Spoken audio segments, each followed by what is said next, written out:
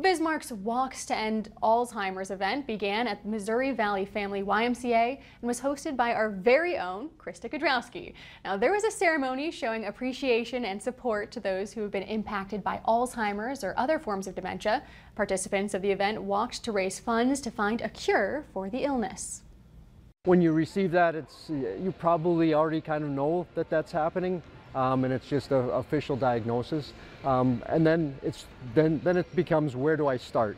And the Alzheimer's Association is a great place to start because they can get you in touch with the people that you need. People can still donate to the Alzheimer's Association online. This fundraiser lasts until December 31st.